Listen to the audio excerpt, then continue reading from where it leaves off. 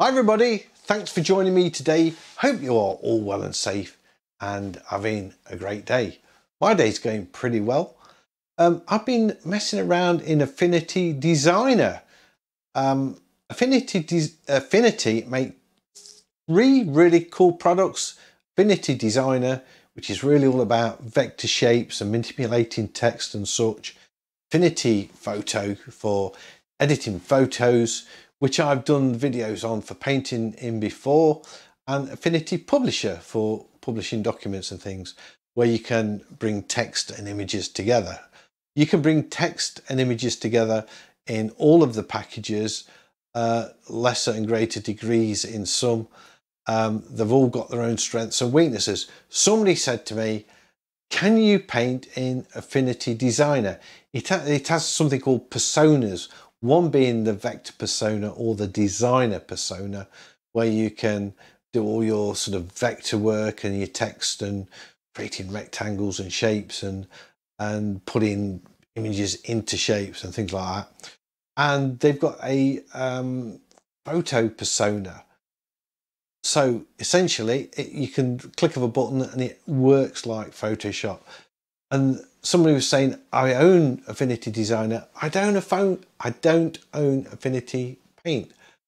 Can I use it? All the brushes work. So essentially, you should be able to use all of the brushes that come with, or that you can get for Photoshop. All the third-party brushes should work in Affinity Designer. So I thought I'd give it a little go. I thought I don't know the answer to this. Let's find out. So I have had a dabble with um, Affinity Designer, see if I could paint with it.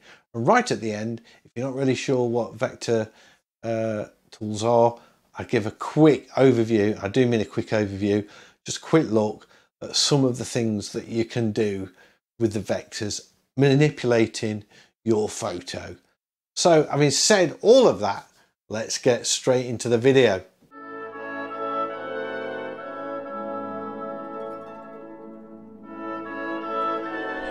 Somebody asked me, can you paint in Affinity Designer in the Pixel Persona because it doesn't want to have to buy Affinity Photo. He's got Affinity Designer or she's got, I'm not sure um, if it was a lady or a gentleman. Uh, I can't remember, sorry. But I've created an artboard in Affinity Designer and basically that's an area to work with if if you're not really familiar with Affinity Designer, it's really all about um, vector shapes. So I can, for example, draw a rectangle very easily, and I can rotate it and spin it and put text on it and all sort of funky stuff like that. Um, but I, am going to see if I can paint with it going into the pixel persona. I created a transparent background. That's what all these little rectangles are. So I thought I'd uh, make a rectangle to start with, just to give me um, a background. And I could, I guess, colour that in uh, somewhat. Well, this is a snow scene, so it kind of needs to be blue. I'm going to paint just to give me a bit of a, a start, really. There we go. That's quite nice. So that bit works. So how does this work? We've got um, the uh, designer persona, which is all about vectors and it's got vector tools. I want to see if I can paint in it. This is everybody will be screaming at me saying, "Why don't you use Affinity Photo?" Well, I want to see if I can do it in Affinity Designer. So I've I've switched to Pixel Persona, which is in effect like working uh, in a Photoshop type app, I suppose. Um, I'm just going to use. I'm not. I'm not going for any uh, different types of brushes or special brushes. I'm just going to use the ones that we've got in here. Um, oh, they've got oil brushes. I don't know how good they are. I've never used them. I've used them once, I think, in Affinity uh, Photo. Now, how do these tools work? Is that the brush? Yes, okay, so that's cool. Square brackets, I assume, to change the size of my brush. Yeah, that's cool. Um, okay, let's uh, let's see um, I don't like having to swap between colour and brushes. I might just bring my brushes out there. Oops. What have I done?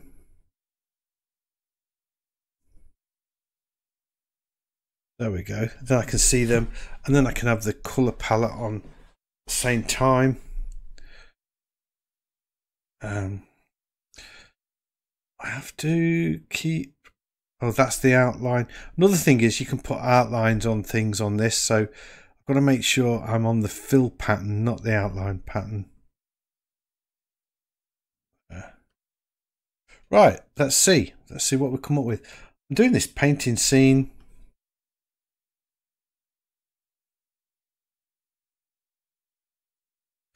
That looks less like an, an oil paint, I must admit. More like a chalk.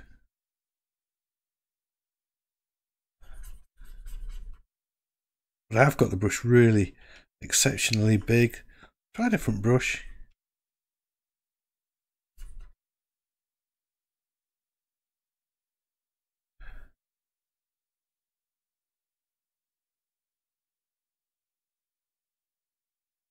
Actually, I've got this the wrong way around. I want to... Let's just undo all, all of that. Well, it's certainly very responsive. Um,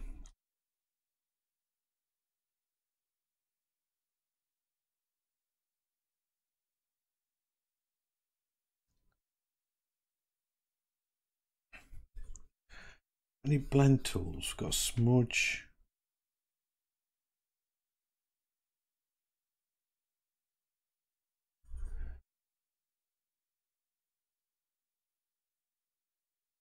That doing much? Oh yeah, just blurs it a bit.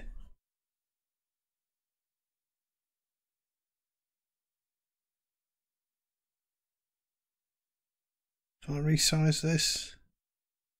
Doesn't appear so. I'll pop it there though.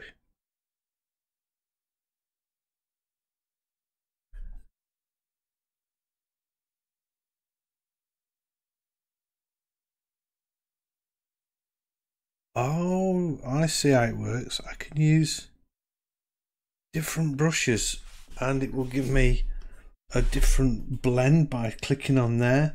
Then I can click back to here and then it becomes paint, I guess.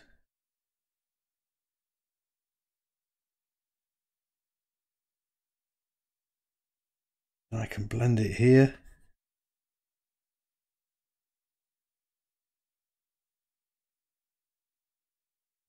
Bit of lag. I've got to say, it's not. This isn't designed for this, so you know, I'm not making any uh, criticisms. I just want to see if it's possible to do.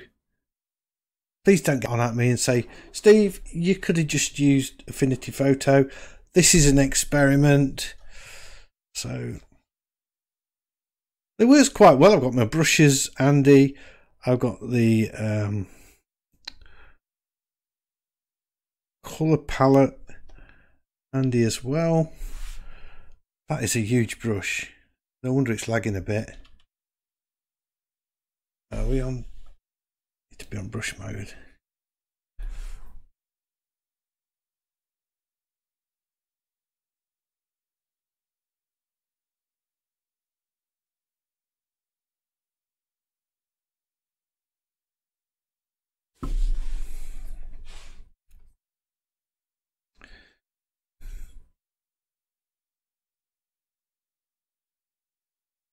And you can get um, lots of different brushes.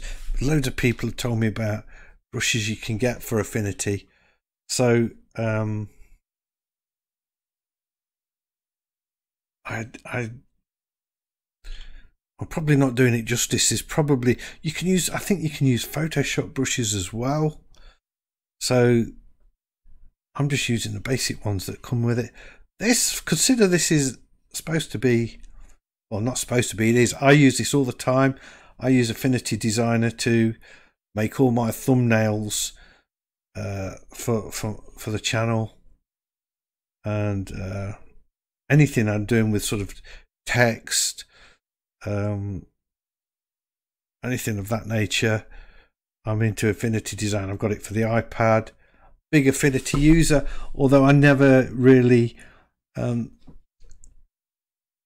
promote it much on the channel.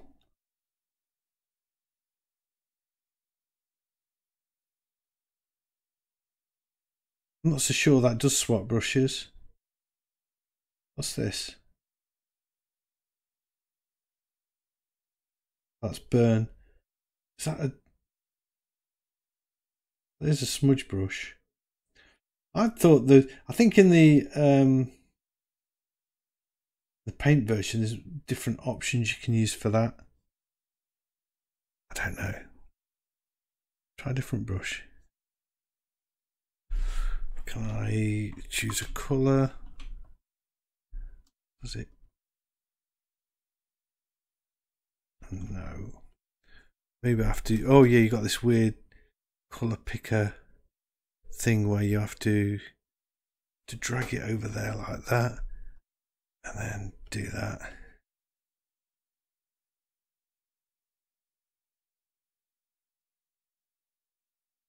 And I can paint again.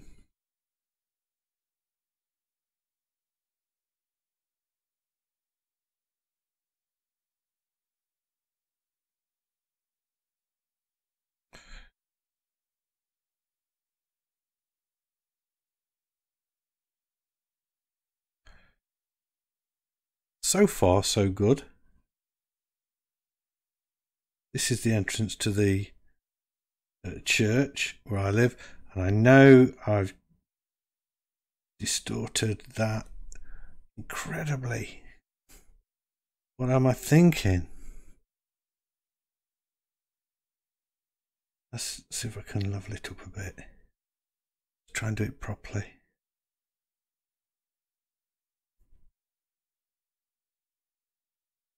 Lots of snow on that. This is that snowstorm that uh, I went out in a couple of, well, I guess about a month ago now. And you can get all the pictures to this if you want. They're all free to download. Oh, okay, does change colour. Well, that's cool. That's that's handy. I was thinking that it, it didn't work like that.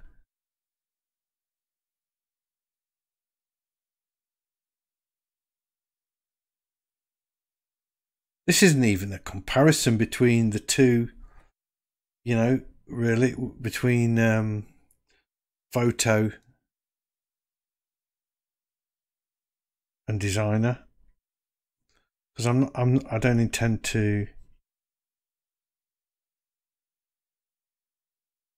do photo. I have used photo for painting before and it didn't blow me away, but I have to say this feels just as good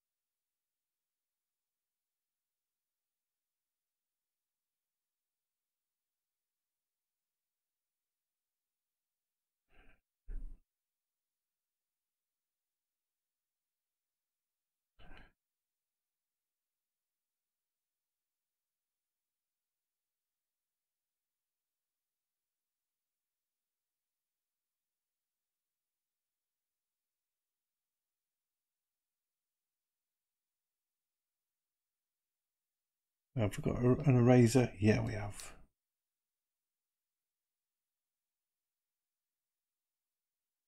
Is that bit selected? Is it tiny? I've got it tiny or something.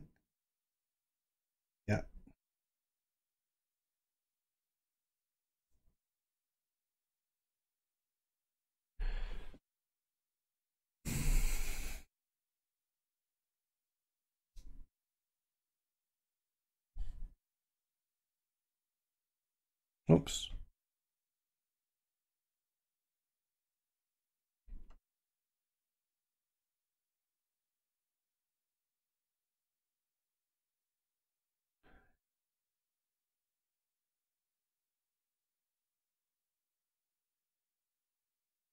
I, I do I have used this before actually to do one uh, I did a t-shirt design for, for sort of save the bees type theme and it was great because you can.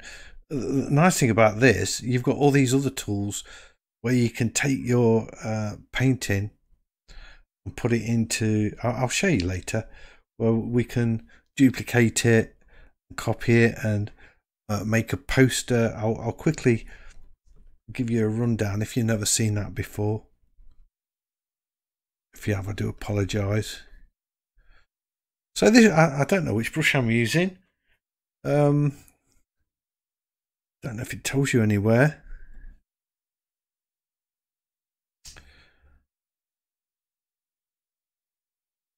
Uh, can't see on the screen. I think it might be that. Is it that first one? No, second one.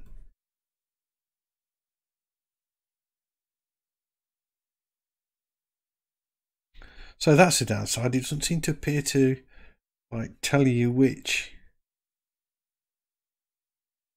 which brush you're using.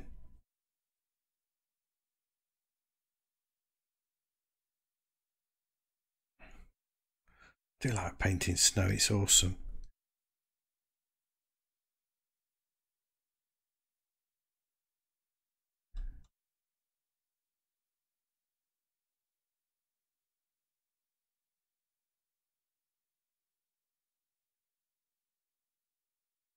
Oops. There we go.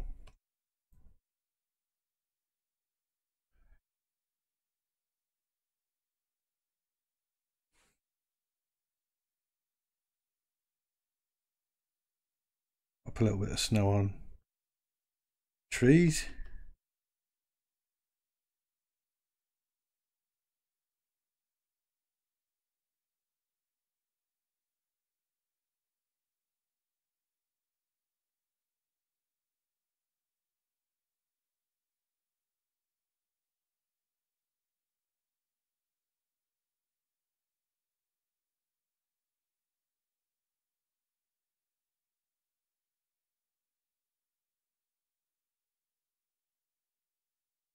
And you've got, I, am assuming you've got all the options to uh, use blend modes. Yeah, we've got normal, so I could uh, change it to multiply, no doubt, and uh, create different layers and all of that kind of thing going off.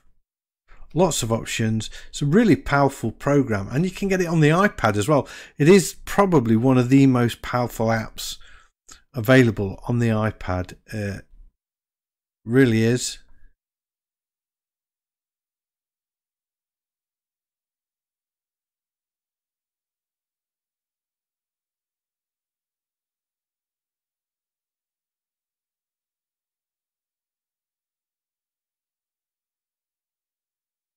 I don't think this is too shabby. We've kind of got this building, this church here.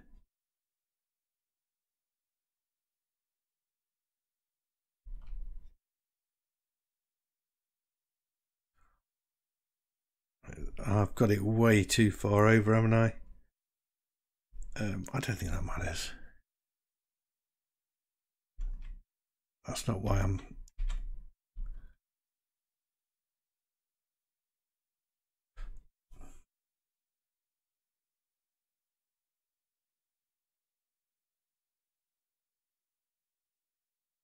Maybe I ought to make that a bit bigger and then chisel around it after. Let's do it that way.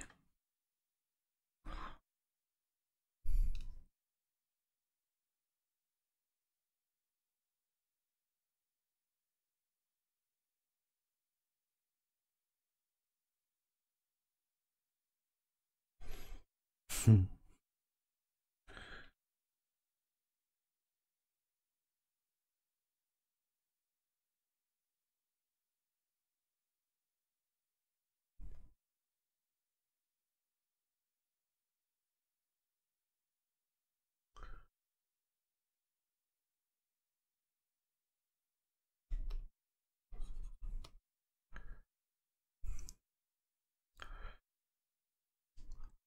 Well, considering this is this is a, a vector image, a vector package, it doesn't feel like I'm working in something that's sort of trimmed down and not really designed for this. It feels fine.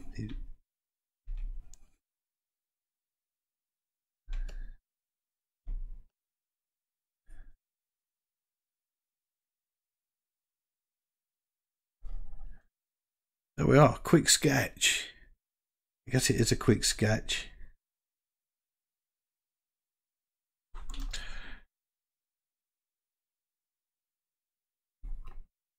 Oh, I know what I can be doing. Not quite there yet, are we? Need some snow in the foreground.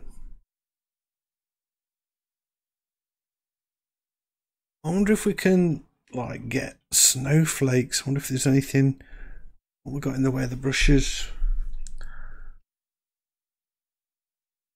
Uh, effects. I wonder if there's anything that's sort of splashing.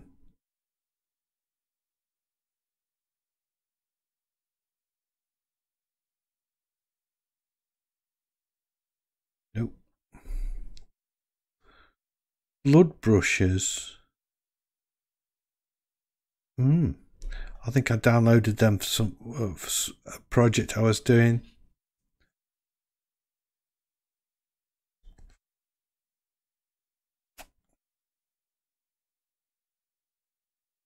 Doesn't look like there's anything there.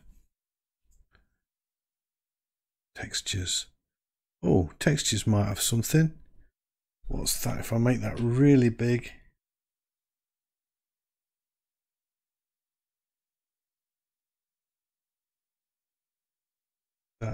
Gonna do it? Don't think so. No. I'm sure I could make a brush. That's not too bad. A bit bigger.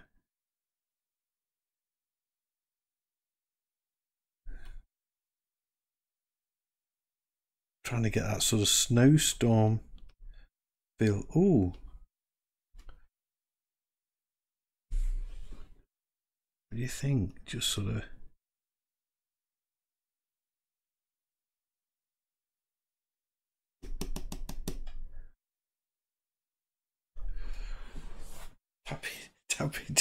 Am I? Uh, there's a bit overkill there, perhaps. Let's step back a bit. I don't know how many undos I can do.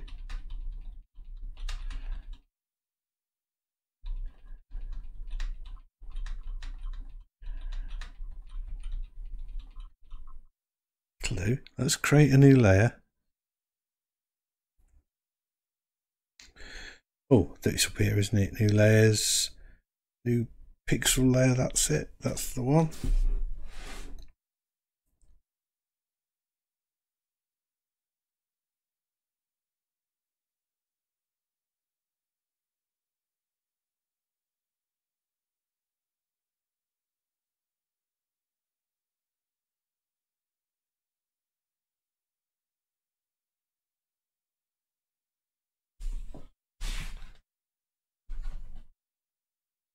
There. I kind of like that. Let's go back to the layer below it. Um, I'm just going to tidy up a little bit. Oh, not with that brush, I'm not, am I? Brushes, oil. Let's use that one. Well, first of all, let's just tidy that up a bit.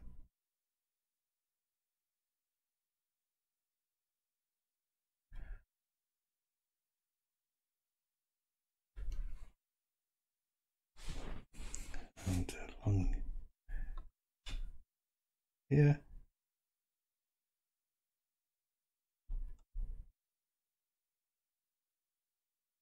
Shadow on the snow there.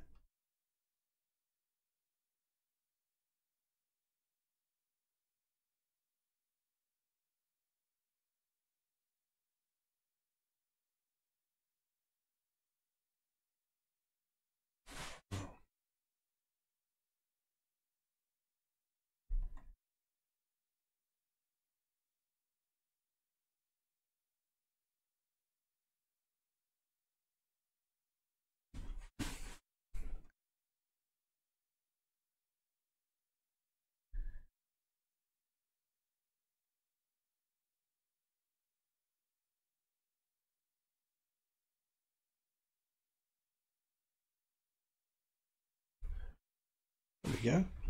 Yeah, so I think the answer is yes, you can paint with it. You don't necessarily need to go um, for affinity paint.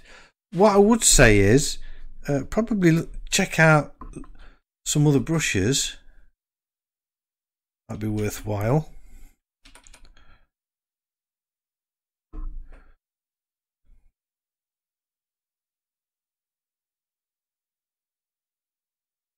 Like I don't I don't think I, like, I don't think it needs that you know? I think I just like that shape there.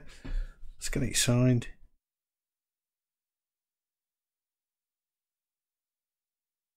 Painting in affinity designer. Right what is what else can you do with affinity designer? Just really quickly then. Um I've got this rectangle here and because those two are embedded in this rectangle I can select it use the arrow tool there. Just move this down a lot.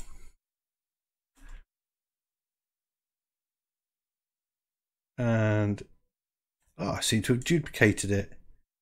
I didn't mean to do that actually but never mind. I'll just hide that one. How many of these have I got? Oh that's the artboard. Okay.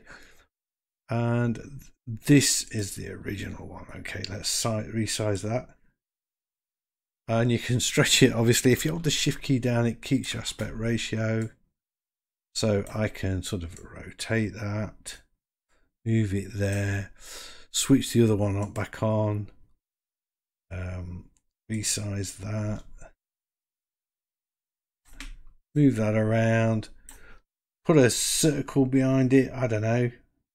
Go back to the um, designer profile choose the circle mode, draw a circle. Oops.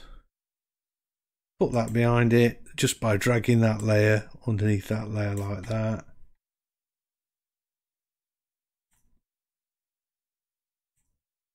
Put it back on top again. You can um, create an outline around it So let's just move that in there a bit, move that down. And if I want an outline, I choose that for the colour. That's this little circle there. Go to the stroke tool. Oh, I'll put a line around it. So great for making things like uh, Instagram posts and, you know, stuff like that. And uh, if I exported that as a PNG, um, that would be transparent.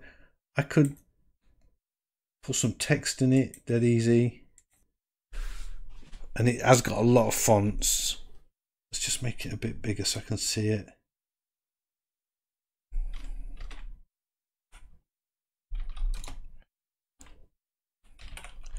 So this is why, this is the reason you would probably use um let's choose let's change the color oh we're on the we're on the stroke not uh, the fill.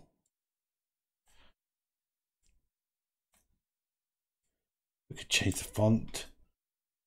Tons of fonts available. I like one called uh, I actually can't remember where I got it from. It begins with an H. Hunter, about there. That's the font that you probably recognise from my uh, posts. And you can put text on a curve. I, have actually made a video on how to put text on a curve if you want to, if you want to check that out. And I could create another uh, rectangle. Fill that in. Whoops. Don't know what I did there.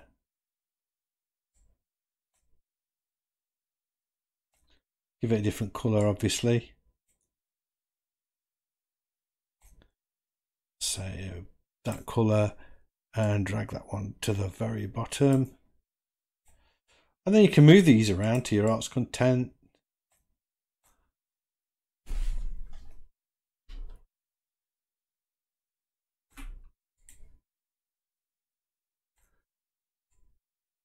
Just messing around. So that's it. That's a quick overview of Affinity Designer other tools. But yeah, you can seem to painting it quite nicely. A uh, bit unusual video, a bit different, a little bit um, out of the ordinary. But I hope you've enjoyed it. If you have, big thumbs up as always. It's much appreciated. If you're new to the channel, please consider subscribing. I've got loads of videos like this and I would love to be sharing them all with you. So don't forget everybody, stay safe, stay sane and keep painting. Bye.